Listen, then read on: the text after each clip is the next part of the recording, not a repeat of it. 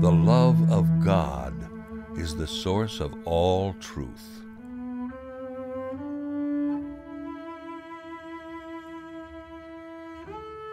People with a distorted image of self, world, or God will be largely incapable of experiencing what is really real in the world. They will see things through a narrow keyhole. They'll see instead what they need reality to be, what they're afraid it is, or what they're angry about. They'll see everything through their aggressiveness, their fear, or their agenda. In other words, they won't see it at all. That's the opposite of contemplatives, who see what it is, whether it's favorable or not, whether it meets their needs or not, whether they like it or not, and whether or not that reality causes weeping or rejoicing. Most of us will usually misinterpret our experience until we've been moved out of the false center. Until then, there is too much of self in the way. We need support in unmasking our false self and in distancing ourselves from our illusions. For this, it is necessary to install a kind of inner observer, a fair witness. At first, that sounds impossible, but with patience and practice, it can be done and even becomes quite natural.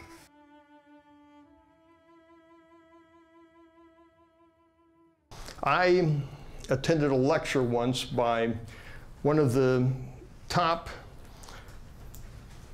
wine tasting experts in the world.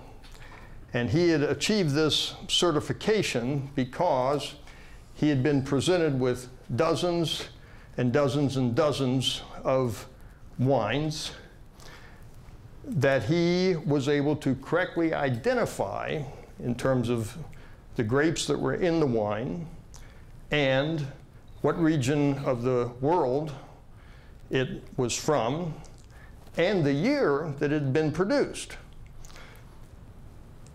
And he talked about how he did that. And he, when he got a glass of wine, he would, of course, check out the, the bouquet, the uh, aromas, and look at the clarity and the, the density and the color. And then he would, he would taste the wine, but he would taste it to determine the minerals that were in the soil that showed up eventually in the grape. And then he'd assess not only the, the soil content, but likewise the weather conditions for the particular year that created the amount of juice that was in the grape. If it was a wet year and if it was particularly dry, then the kind of concentration. And likewise, the sugar content of the berry at the when it was picked and harvest. And all that was going on. And he, that's why he was the best in the world. But nonetheless, he said the one question he never asked, and if he did ask it, he only asked it much later, was, Do I like it? Do I like it? As we venture out into this reality stuff, the temptation is going to be to say, Do I like it? The question is not, Do I like it? Do I want it? Do I hope it's going to be this way? The question is not, do I agree with it? The question is not, do I believe this? Do I not believe this? The question is finally, is this the way life is? Is this the way life is? As I experience my experience of living my actual daily life.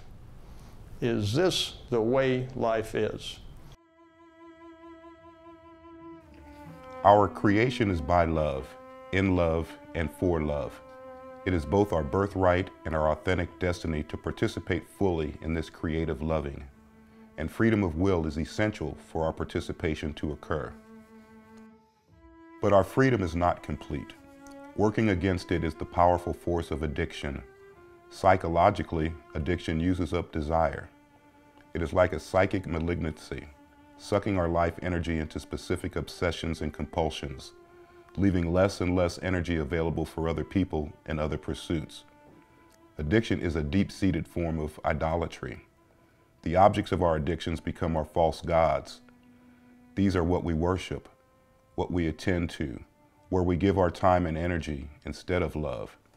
Addiction then displaces and supplants God's love as the source and object of our deepest true desire. The significance of addiction is not just that we lose freedom through attachment to things, nor even that things so easily become our ultimate concerns. Of much more importance is that we try to fulfill our longing for God through objects of attachment. God wants to be our perfect lover, but instead we seek perfection in human relationships and are disappointed when our lovers cannot love us perfectly. God wants to provide our ultimate security, but we seek our safety and power in possessions, and then we find we must continually worry about them. We seek satisfaction of our deep longing in a host of ways that may have very little to do with God, and sooner or later, we are disappointed.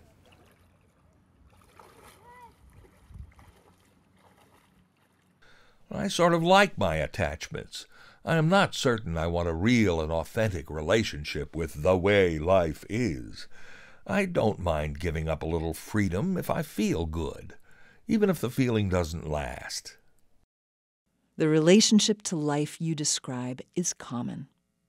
We seem to love consorting with substitutes for reality. But as always, reality will have the final word, even if, for the moment, we believe we are getting our way. What do you mean? Why don't we have Nikos Kazantzakis address this question? See if any of this resonates.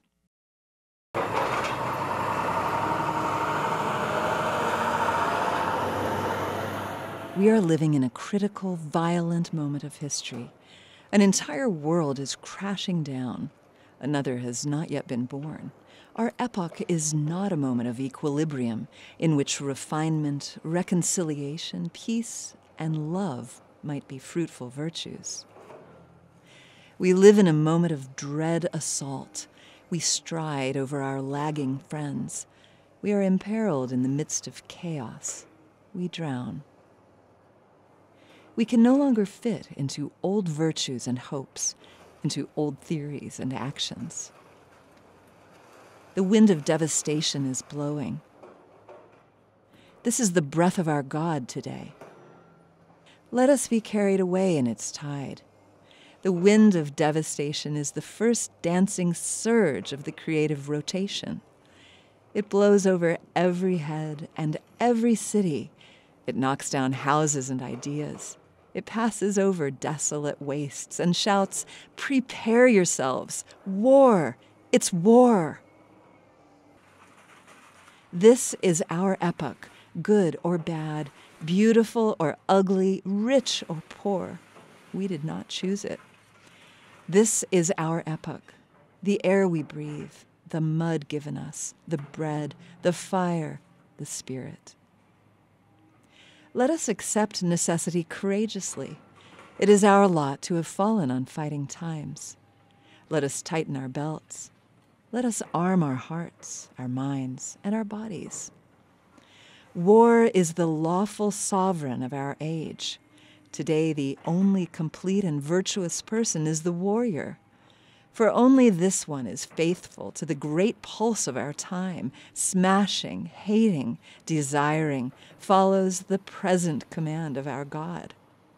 This identification of ourselves with the universe begets the two superior virtues of our ethics responsibility and sacrifice.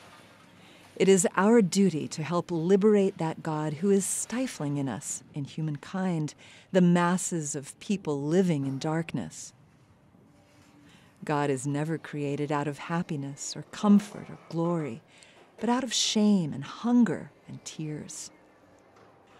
At every moment of crises, an array of humanity risk their lives in the front ranks as the standard bearers of God to fight and take upon themselves the whole responsibility of the battle.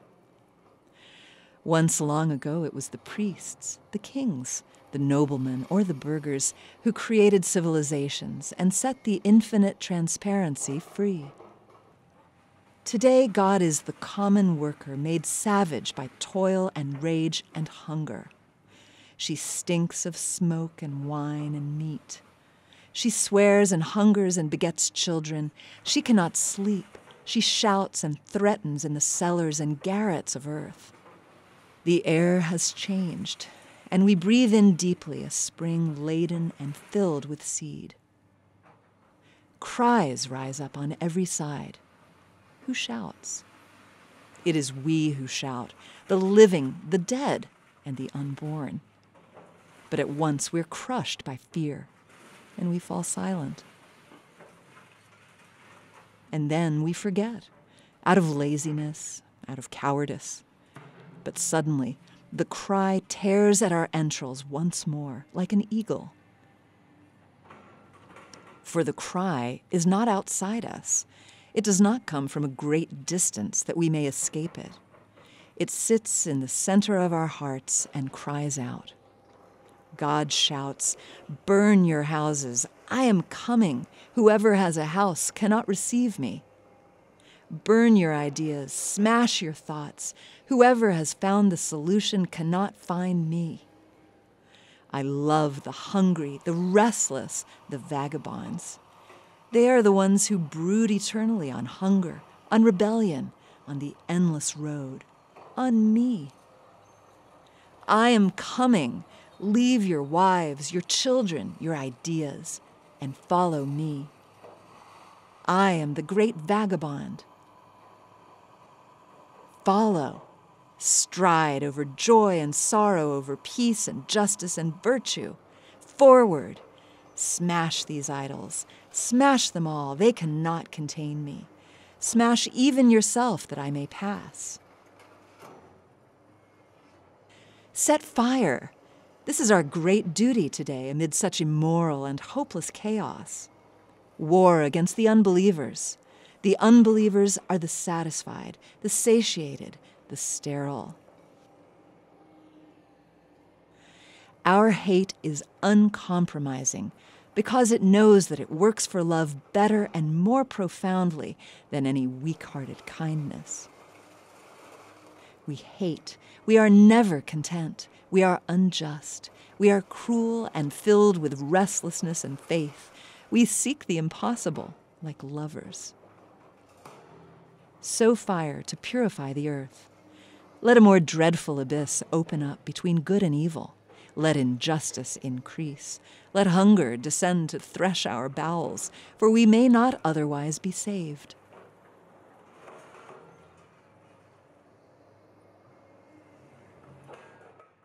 Now, this is really over the edge. You have to be crazy. This is absolutely nuts.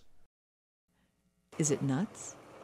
As offensive and radical as this poetic statement is, for me, it captures some of the reality I experience today. Loving the ultimate as that which we take most personally changes everything. Don't stop here. Personally loving reality as one's ultimate concern is worth the journey into authenticity. Let's continue.